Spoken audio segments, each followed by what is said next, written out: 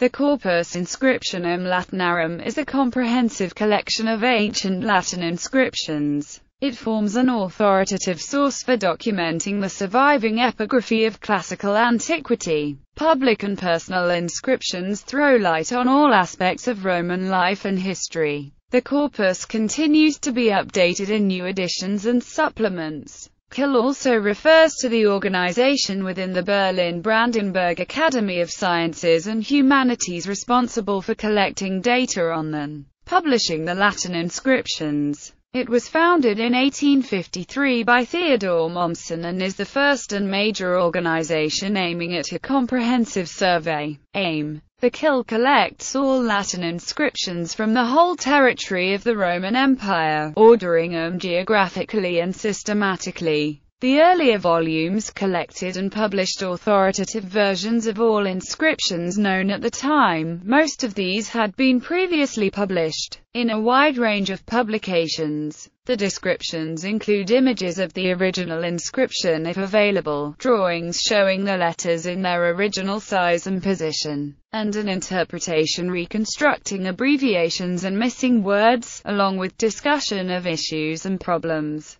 The language of the CIL is Latin. Beginnings in 1847 a committee was created in Berlin with the aim of publishing an organized collection of Latin inscriptions, which had previously been described piecemeal by hundreds of scholars over the preceding centuries. The leading figure of this committee was Theodor Mommsen. Much of the work involved personal inspections of sites and monuments in an attempt to replicate the original as much as possible. In those cases where a previously cited inscription could no longer be found, the authors tried to get an accurate reading by comparing the versions of the published inscription in the works of previous authors who had seen the original. The first volume appeared in 1853. Current status the CIL presently consists of 17 volumes in about 70 parts, recording approximately 180,000 inscriptions. 13 supplementary volumes have plates and special indices.